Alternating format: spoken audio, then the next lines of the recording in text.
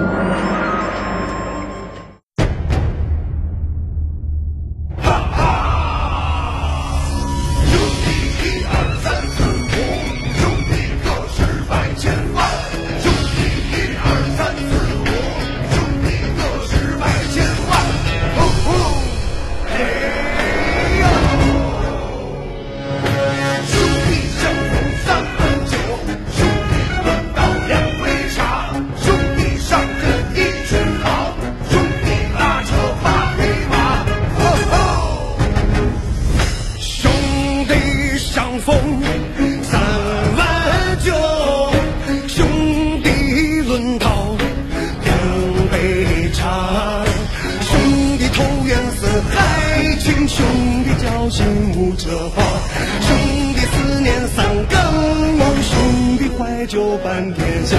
兄弟今生两家心，兄弟来生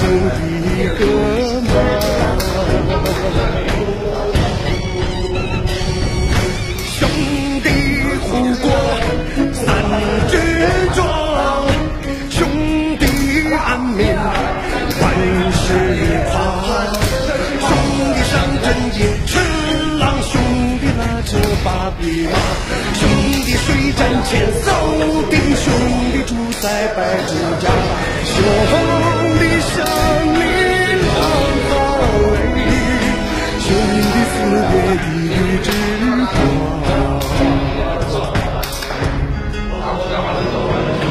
兄弟情啊，夜空中万千星点。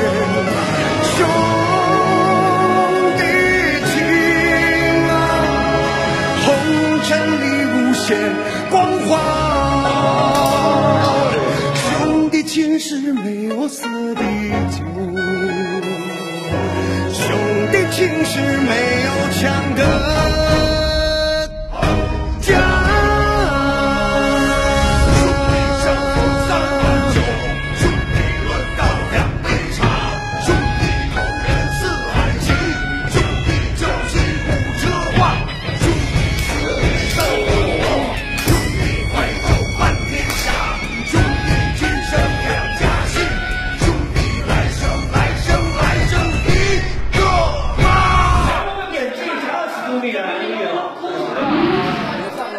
时候玩过，比较怀旧的，你知道。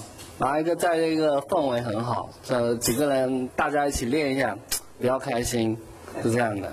然后还有一个可以户外活动啊，打打鸟啊，锻炼锻炼身体啊，这个真的非常好。然后还有一个就是小豆弹弓非常精美，所以说经常来这里玩。是这样可以吧？喜欢玩弹弓就可以了吧？对不对？练强身健健体呀、啊，爬爬山啊，对不对？有的时候打打鸟啊，我玩的是 GG 之音，呃，认识小洛是二零零九年的下半年，玩弹弓啊，嗯，技术技术有所提高，然后身就是强身健体，可以回归大自然，然后朋友交往，朋友认识的更多了。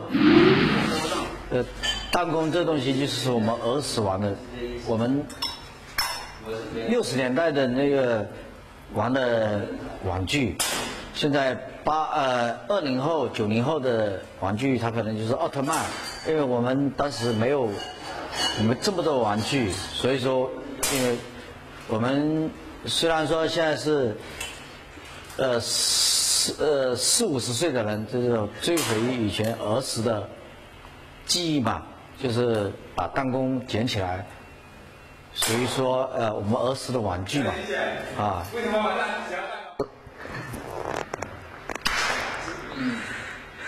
用力一点，再来一点，咔，嗯，哎，OK，我们也是。自首。到红玉山，跟小楼玩弹弓以后，受益匪浅，结识了很多良师益友，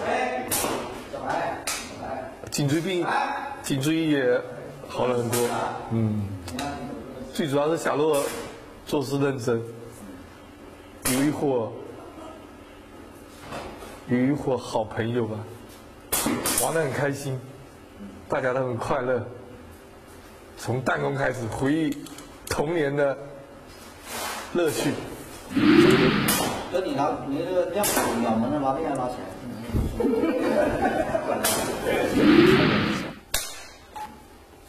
啊，玩弹弓啊，就是可以认识各行各业的朋友啊，玩上头，有空大家坐在一起泡泡茶，啊，比较日子比较好过一点。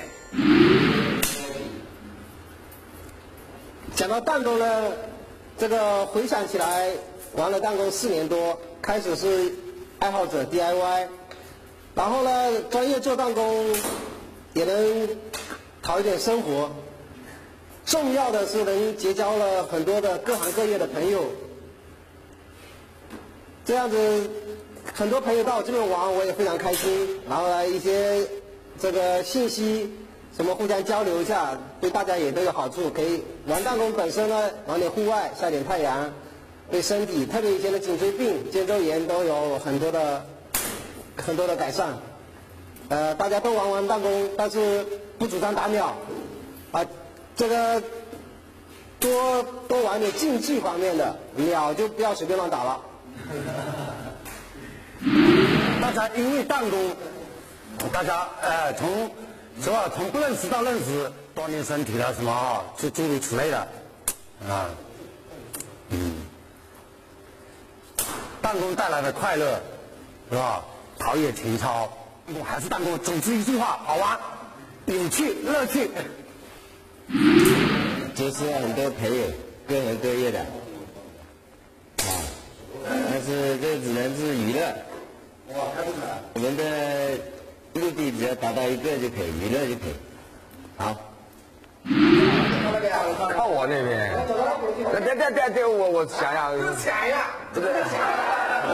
我刚刚顺口讲了一下。顺口很流利的，该想。来来来，那随便讲。啊。这个怎么讲？一下想不起来的。这玩弹弓嘛，是一种童年的乐趣，啊，现在退休了，好像是一种温馨的回忆吧。呃，想起童年时候的快乐，再一个对身体也有好处。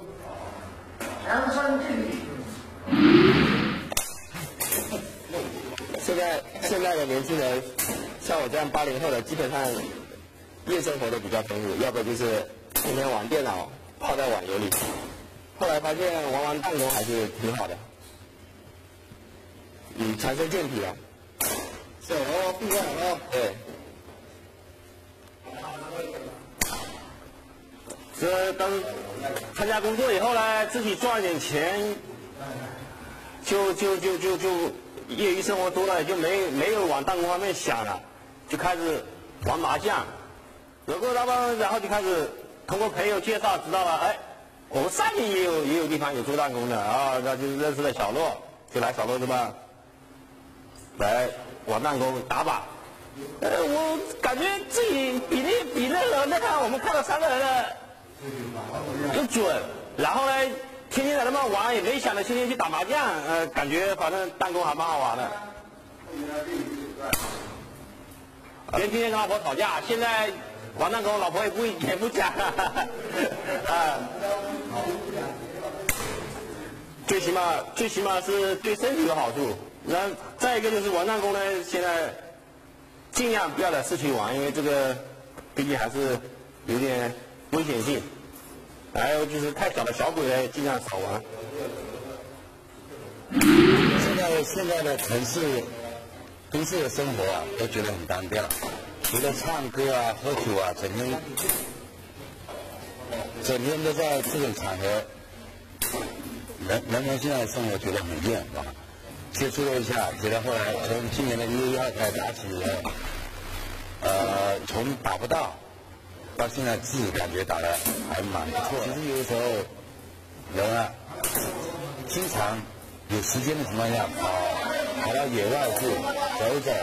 手上有拿一把弹弓，第一个挺安全，但是比较强调就是说玩弹弓的时候安全重要？因为小孩子有的时候在没有正确的引导下，不要去，不要去，呃，去玩这些东西，有大人指导。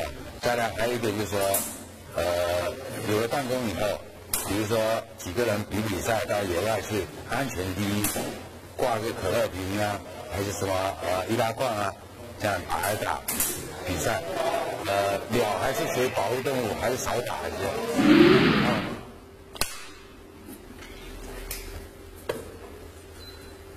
这个大家玩弹弓呢，开始的时候，很多你看不不做，很很多人都是想打点鸟，但是自从我做弹弓这个营生以后，发现鸟少掉很多，呃，尽量大家就少打鸟，鸟不要随便乱打，多玩点竞技，弹弓竞技，呃，跟朋友跟朋友交流的一个话题，多交点以工会友嘛，是不是？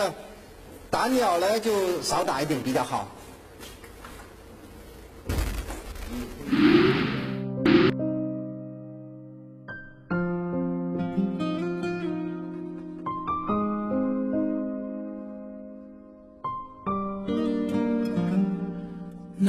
天，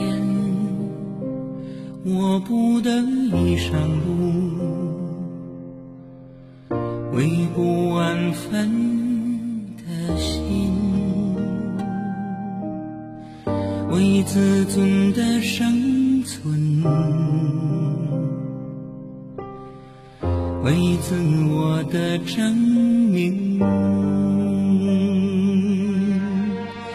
无声的心酸已融进我的。